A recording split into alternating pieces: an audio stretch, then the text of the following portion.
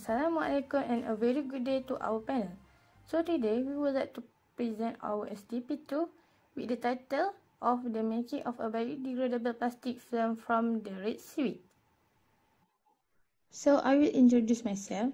So my name is Fatih Shaidah bin Dizul with ID number TC17050 as a presenter 1 and my partner is Rabiatul Adawiyah with ID number TC17033 as a presenter 2. This is our talk for today. Is our problem statement. Nowadays, there are increasing number of plastic pollution. Plastic production is not only plastic bag but it includes bottle and food packaging.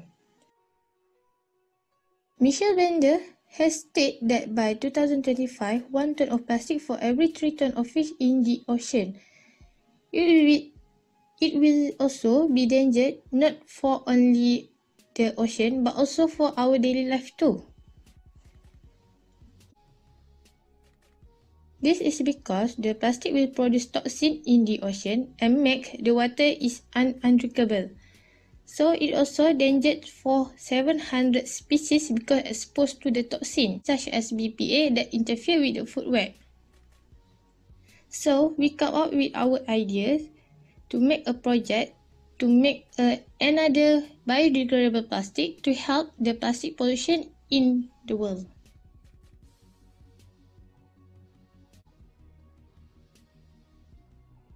First is to fabricate biodegradable hygiene sack. Second is to characterize the physical properties, water solubility and degradability of film. Third is to determine the role of seaweed, starch and glycerol. That is our literature review. We choose three topics in our literature review that is First is plastic material for their properties and application. Second is our agar base edible film but with glycerol plasticizer and third is starch base biodegradable polymer with polyvinyl alcohol. So for our project we choose agar as our material. From seaweed. Seaweed have different types and different characterization. As we can see in our slide, so there is three types of seaweed that is brown seaweed, red seaweed and green seaweed. So for ground seaweed, it has a low protein and poor water resistant and this is not suitable to build a biodegradable film because it have a poor water resistant. So for red seaweed, it has a high protein and it also emulsifier and stabilizer in dairy product and also fewer negative charge per disaccharide. So for red seaweed, uh, there is more using of red seaweed in our food product. So for green seaweed, it has a poor aging properties and can easily alter by temperature and difficult to stabilize. So as the previous slide, it also have a disadvantage because of poor aging properties. This is due to green seaweed. So we choose red seaweed in our project. So we'll continue with our methodology. This is the material that we use in our experiment. First is seaweed powder, cornstarch, glycerin, distilled water, agar powder, salt and sorbitol. And this is our apparatus.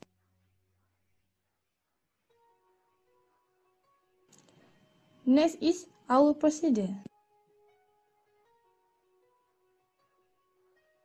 So first, we will weigh all the materials such as 1 gram of seaweed powder, 2 gram of glycerin and sorbitol and 5 gram of cornstarch. And then, we need to mix all the solution with half liter of distilled water in a beaker and then stir it with the glycerin. After the solution is diluted, then we need to check the pH of the solution as one of our characterization. After that, the solution will heat up by using a hot plate stirrer for 30 minutes. This is because we need to ensure that the solution will dissolve in a high temperature.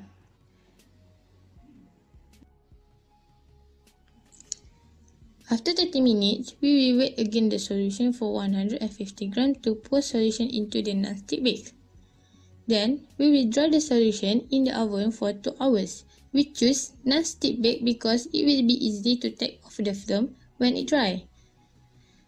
After 2 hours, we take off the film. We take we take 20 gram of film to do our next characterization. That is to know the solubility of the film. So, using hot plate magnetic stirrer, we stir the 20 gram of film in the 30 ml of water for 5 minutes. So, all the data were recorded. And our last characterization is to know the solubility of the film. So, we weight the 50 gram of soil and 20 gram of 20 gram of film. Then, we bury it for 7 days. After 7 days, the soil will be wet again to see the difference of the film. Hi and Assalamualaikum. My name is Roberto Adaria and I will continue the presentation. Let's move on to data collection and analysis. According to the pH level as shown, all samples proved to be in neutral condition between 5.3 and 6.2. Next, the mass of samples from different extraction provides a constant final mass after drying from a volume of 150 ml. The solubility of each sample has been calculated using the given formula in equation 1 by keeping the size, temperature, and speed at constant. Thus, from the figure, it shows that carrageenan carried higher solubility than agar. Finally, the biodegradability of each sample has been calculated by using the formula in equation 2. Each sample was buried in soil and the mass for before and after has been recorded. As you can see in the figure, it shows sudden decrease at sample D, which might be influenced by the soil humidity and the way it was buried. It's either the soil was disturbed and the sample is not fully buried. Next, moving on to discussion, the physical observation. As the mass of carrageenan increase, it produces much more stronger algae-like odor. Sample became more yellowish in color. It forms rigid, sticky, and brittle gels after drying, which is totally not soluble at normal water temperature. Why did this happen? It is because the kappa carrageenan contain anionic sulfated linear polysaccharide, and only lambda carrageenan dissolve in cold water. This is because due to their difference in sulfate groups and anhydrous bridges.